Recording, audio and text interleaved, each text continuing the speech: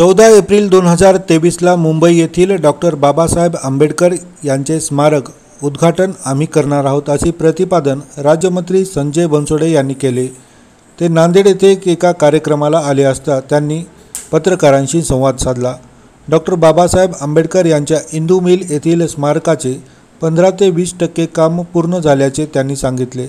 याबाबत राष्ट्रवादीचे सर्वेसर्वा शरद पवार हे देखील वेळोवेळी मार्गदर्शन करत असल्याचे त्यांनी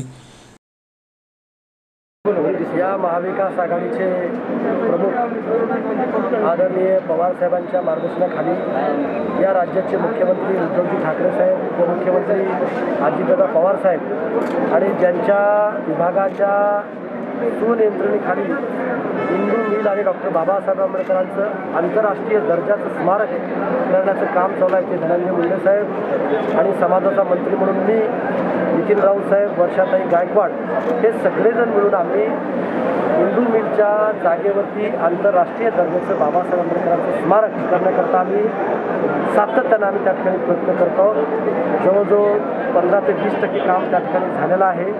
आणि आम्ही पवारसाहेबांनी त्या सगळ्या जागेची पाहणी करून काही सूचना आणि आंबेडकरांचा पुतळा कसा असावा ते स्मारक कसं असावं हे त्या ठिकाणी आम्हाला सूचना त्या ठिकाणी दिलेल्या आहेत.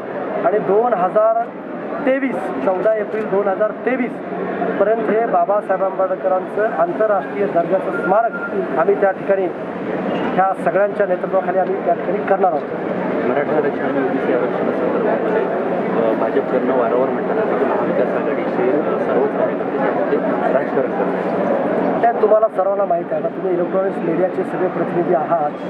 आता आमचे महाविकास आघाडीचे नेते आदरणीय अशोकराव चव्हाण साहेब परवाच अधिवेशन चालू होण्याच्या अगोदर आणि अधिवेशन चालू झाल्यानंतर दिल्लीमध्ये त्या ठिकाणी गेले.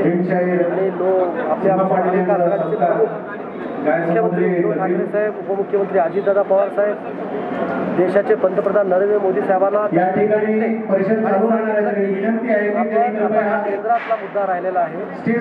केंद्राकडून तुम्ही हे मराठा समाजाला आरक्षण दिलं पाहिजे आणि आमची राज्याची भूमिका त्या ठिकाणी सकारात्मक आहे. ओबीसीला आरक्षण त्या ठिकाणी मिळालं पाहिजे. आणि राज्यामध्ये सुद्धा मागासवर्गीयांच्या ज्या पदोन्नतीचा आरक्षणचा मुद्दा आहे त्या कोर्टाच्या अधीन राहून आम्ही ते देण्याचा प्रयत्न त्या ठिकाणी करणार आहोत. सर विरोधी पक्षनेते देवेंद्र फडणवीस विरोधी पक्षनेते देवेंद्र फडणवीस की नैसर्गिक आपत्तीसाठी व्यवस्थापनासाठी स्वतंत्र मंत्रालय हवं. खातं आपल्याकडेच आहे. नाही नाही तुम्ही जे म्हणताय की व्यवस्थापनासाठी हे मंत्रालय हवं असं एकदम तुमचं बरोबर आहे. आज मदत व पुनर्वसन खातं त्याच्या देखरेखाली हे सगळं त्या ठिकाणी चालत असतं. आणि मागच्याच कॅबिनेटमध्ये आम्ही सगळा आढावा घेऊन राज्याचे मुख्यमंत्री उपमुख्यमंत्री मदत पुनर्वसन मंत्री आणि ऊर्जा मंत्री नितीन राऊत साहेब त्या सगळ्या भागाचा त्यांनी त्यांनी दौरा केला. आणि पंचनामे करण्याचं काम त्या ठिकाणी चालू आहे आणि तात्पुरती मदत म्हणून आम्ही दहा हजार रुपये त्या ठिकाणी ज्याचं नुकसान झालं त्यांना देण्याचा प्रयत्न आम्ही त्या ठिकाणी केला आहे. सगळा आढावा आल्यानंतर आम्ही किती मदत द्यायची ते सुद्धा आम्ही त्या ठिकाणी दोन हजार सतरामध्ये देवेंद्र फडणवीस सरकारच्या काळामध्ये अनुसूचित जाती जमाती आणि भटक्या विमुक्तांचं जे पदोन्नतीतलं आरक्षण आहे रद्द करण्यात आलं. पुरोगामी समजल्या जाणाऱ्या काँग्रेस आणि राष्ट्रवादीच्या महाविकास आघाडीच्या काळातही हे आरक्षण रद्द करण्यात आलं. आपलं काय? तुमचं म्हणणं एकदम बरोबर आहे. मागच्या सरकारमध्ये हे आरक्षण रद्द झालं होतं.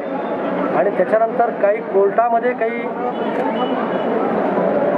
याचिकाकर्ते त्या ठिकाणी गेले होते आणि कोर्टाने काही निर्णय त्या ठिकाणी दिलेले आहे त्याच्यावर मी आता काही भाष्य करणार नाही.